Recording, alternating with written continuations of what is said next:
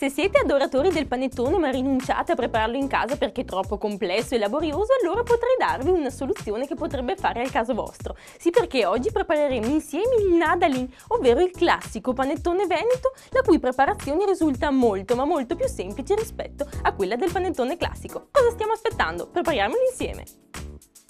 Per preparare lo squisito Nadalin veneto sono necessari 300 g di farina manitoba, 140 g di semola rimacinata di grano duro, 100 ml di latte, 50 g di burro, 100 g di zucchero semolato, 12 g di lievito di birra fresco, un pizzico di sale e due uova. Poi, per la copertura, utilizzeremo 50 g di zucchero in granella, 20 g di pinoli e 30 g di mandorle e un uovo dove utilizzeremo solo l'albume. Iniziamo con la preparazione. Abbiamo setacciato la farina manitoba e l'abbiamo versata all'interno di una ciotola. Mettiamo anche la semola e mescoliamo molto bene. Adesso abbiamo intiepidito appena appena il latte nel microonde, sbricioliamo il lievito e ci aggiungiamo direttamente un paio di cucchiaini di zucchero che ci servirà per facilitare la lievitazione, quindi per attivare i lieviti. E mescoliamo per bene. Abbiamo dunque versato il lievito sciolto all'interno delle farine. E adesso ci siamo anche un po' portati avanti, abbiamo sgusciato le uova e fuso dolcemente il burro. Uniamo le uova al burro e con una forchetta le sbattiamo leggermente, fino ad amalgamare insomma i due ingredienti. Adesso possiamo unirle alla farina e al lievito, così.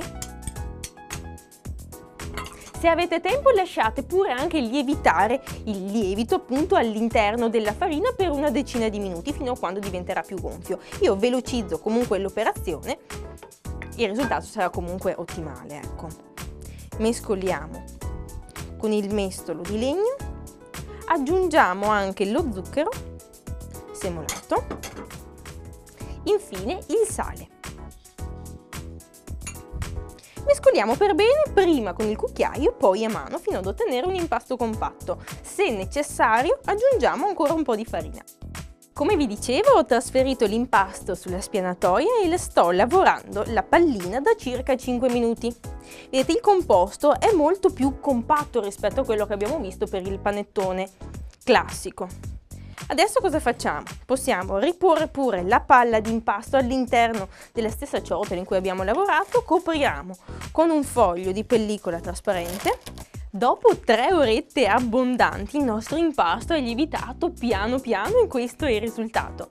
Adesso voglio dirvi una cosa prima di procedere. La tradizione veneta impone di preparare il nadalì in uno stampo a forma di stella a 5 oppure a 8 punte. La versione più moderna invece prevede l'utilizzo di una semplice teglia rotonda dal diametro di 24 cm. Io ho preso uno stampo in carta, quindi non serve imburrarlo ed infarinarlo, però chiaramente se prendete la teglia classica mi raccomando metteteci pure un po' di burro ed un po' di farina.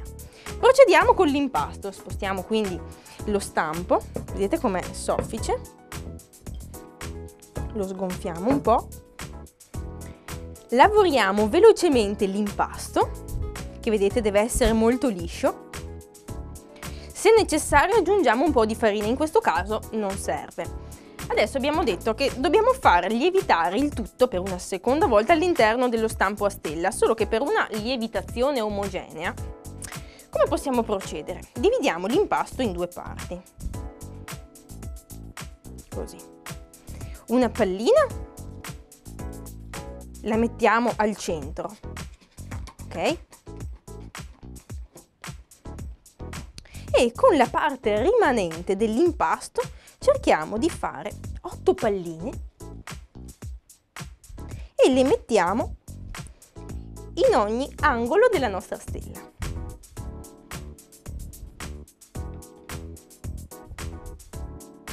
Adesso schiacciamo appena appena, così, in modo che la stella non si alzi solo da questa parte, ma si distribuisca per bene. E andiamo ancora a lasciare riposare il tutto per almeno due ore o fino a quando l'impasto fuoriesce dallo stampo.